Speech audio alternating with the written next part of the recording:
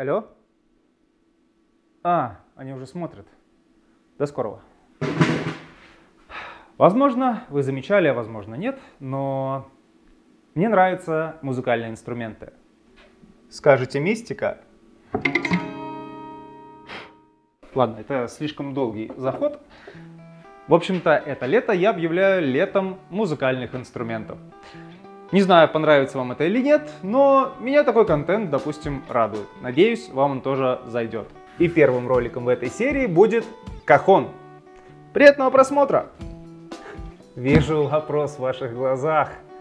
Что нахрен такое кахон? Если коротко, то кахон это перкуссионный музыкальный инструмент, который частично заменяет ударную установку. Выглядит он вот так, вот так, ну, в общем, как коробка. Уровень сложности работы в изготовлении кахона начальный.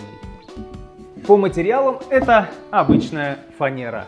Итак, размеры. В общем-то, представляет он из себя вот такую коробку. Размер ее высота 48, ширина 30 и глубина тоже 30 сантиметров. На самом деле 48 это, наверное, слишком высоковато. Я сделаю 46 высоту самой коробки, но плюс еще ножки будут, поэтому в целом останется все равно 48. Для основы корпуса я буду использовать 15 миллиметровую фанеру. На самом деле это немного толстовато, обычно использую 12 миллиметровую фанеру, но у меня чуть-чуть, э, э, как бы это сказать, э, э, другой нету. Но на самом деле я больше из-за конструктива э, хочу использовать 15 миллиметровую фанеру. Ну, думаю, чуть дальше будет понятно. Для задней стенки, которая будет у нас с отверстием в 12 сантиметров, будет использована 6-миллиметровая фанера. Ну а для передней стенки, она называется вот так вот, а, я буду использовать 3-миллиметровую фанеру. Можно было, конечно, бы это все нарезать на циркулярной пиле, но если у меня есть чипу станок, почему бы им не воспользоваться? А? Thank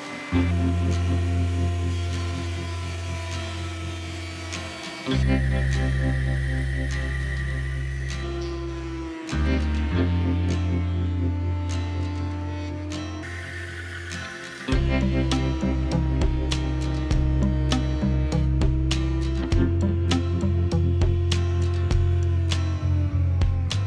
Перед тем, как нарезать фанеру на чепу, я заготовил вот такие вот брусочки, речки, не знаю, как это назвать. И именно через эти брусочки я буду делать соединение углов нашего корпуса.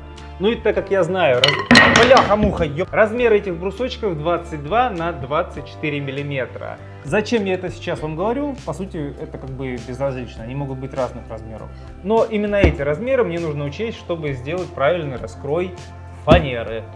Хотя ладно, все-таки поясню, и мне самому понять не будет. В общем-то, вот эти бруски у нас находятся в углах.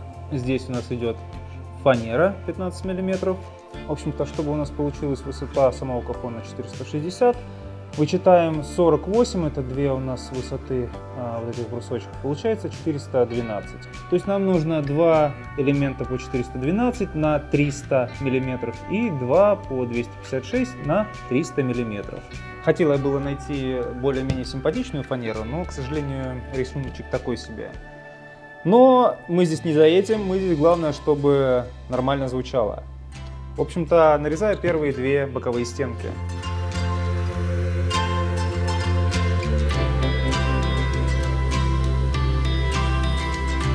Теперь из-за того, что мой ЧПУ не всегда бывает попадает в размер, я уже по э, вот этой длине которая уже вырезана, она не факт, что просто 30, а, буду отмерять брусочки и вырезать по вот этой длине.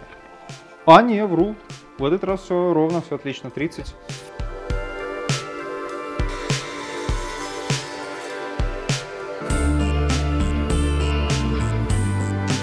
Я вот сейчас думаю, использовать все-таки ламельки или вырезать полосочки из 4-миллиметровой фанеры и использовать их как одну такую большую шпонку. Как будто-таки, скорее всего, лучше одну большую сделать. Ну и, в общем-то, вот такое соединение, я думаю, стоит оставлять. Фу, будем надеяться, что его будет достаточно. Что-то очень красивое надвигается.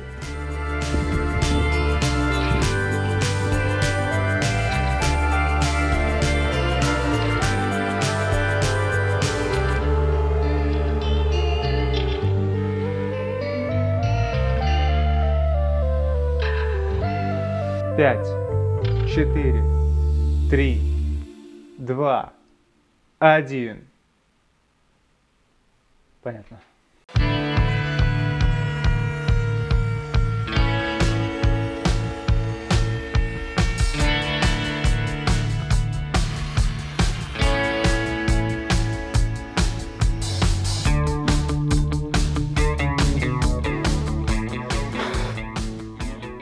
Так, проверил на сухую, все сходится. Ну, плюс-минус.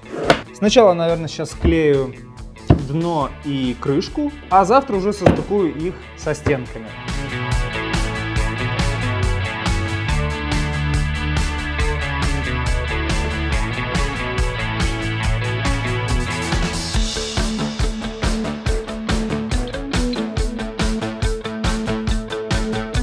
Нормас.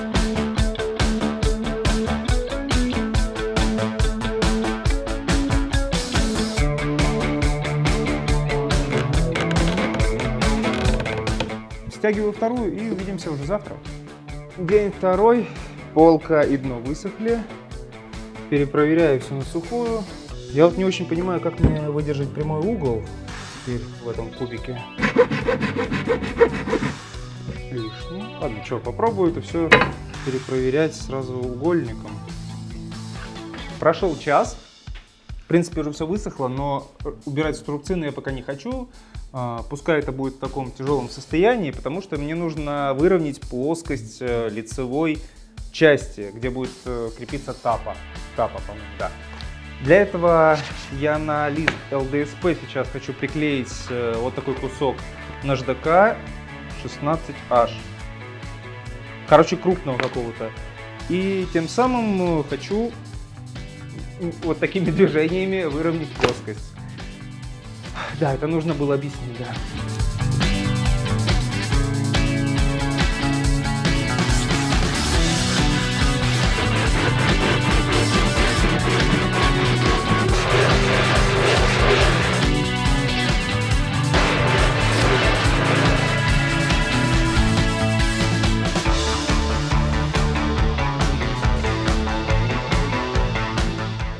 Так, заднюю стенку я планировал делать э, вкладной, если я это правильно говорю. Ну, короче, мне нужно ее утопить вровень э, с торцом самого каркаса.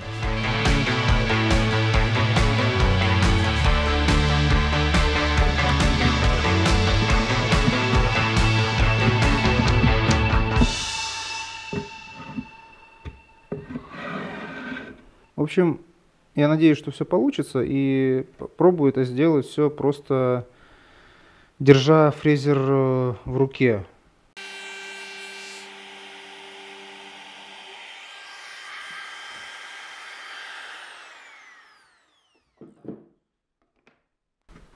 Да в целом отлично.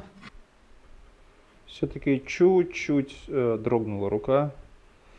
Но, наверное, стоит какую-то форму делать. Э, для фрезеровки, чтобы это было идеально. Но, опять же, мы сегодня тестируем, так что как будто вот так прикрою, как будто и нету.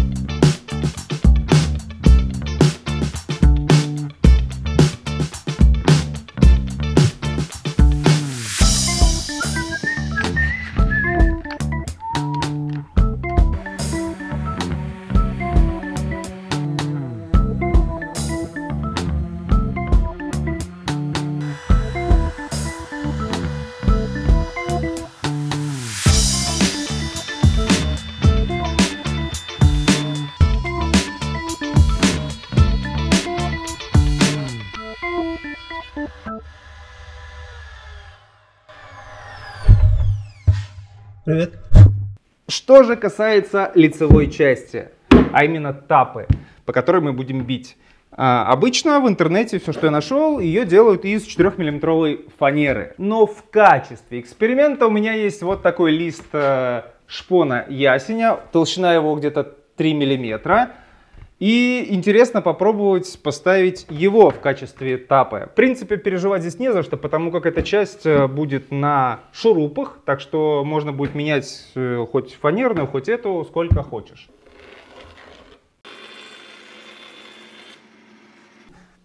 Если что, я приблизительно вот такую разметку делал.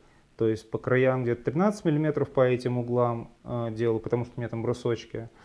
А, далее 80 мм, 150 мм и, ну и с этой стороны, если что, 80, так как здесь 300 всего.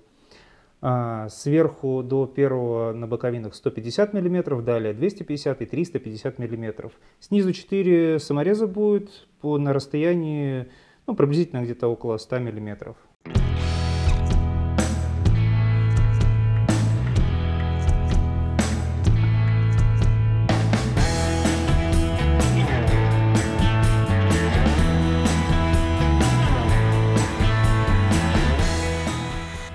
Сожалению, для того, чтобы завершить наш кахон, мне потребуется пожертвовать у этого барабана его пострунник.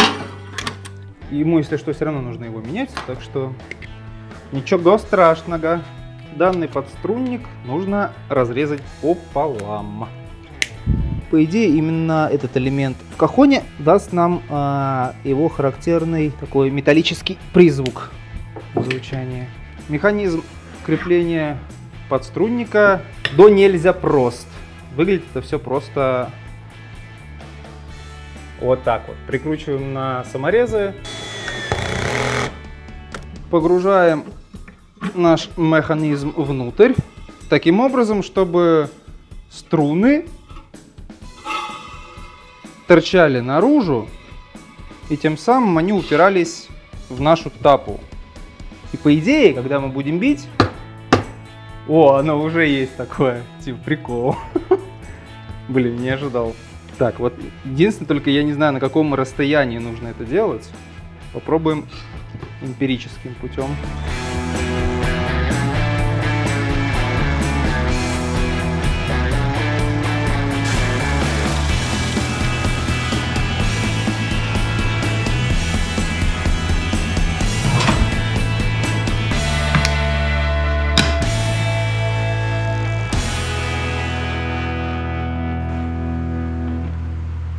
А мне осталось покрыть все лаком. Результат вы увидите через секунду. О, закат.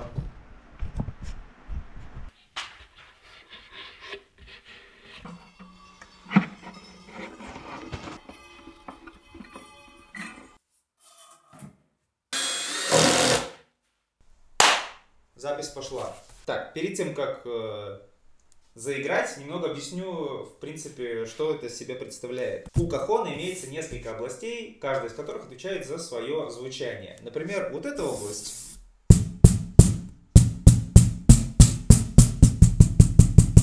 отвечает за бас-бочку. Вот это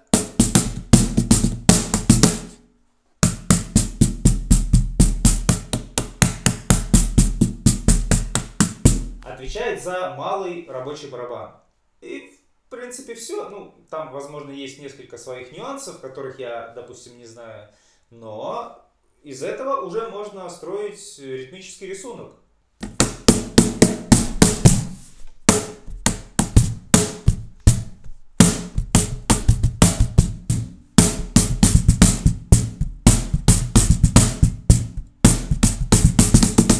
Также стоит сказать, что саморезами, ну, винтами или шурупами можно регулировать звучание малого барабана. То есть мы немножко можем приоткрутить шуруп и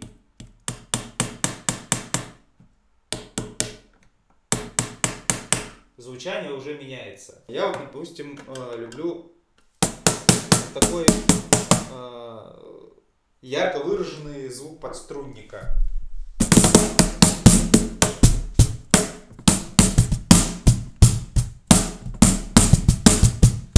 Завершении ролика посмотрим, как это звучит вместе, например, с гитарой.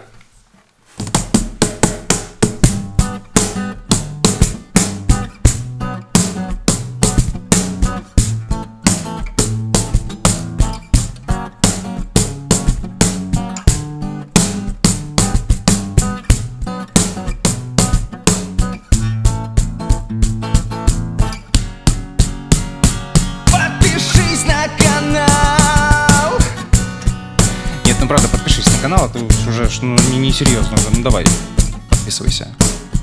Тут как бы всякое такое происходит. Ну, вещи делаем. Все, давай.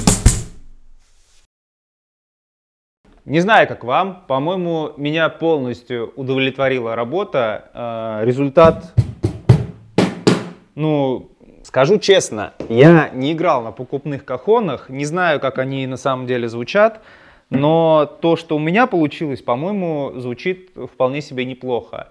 Если вы знатоки в этом, то будьте добры, напишите в комментариях, как вам моя работа. Ну а если видео вам просто понравилось, то ставьте лайк, подписывайтесь на канал. И увидимся в следующем ролике. Пока!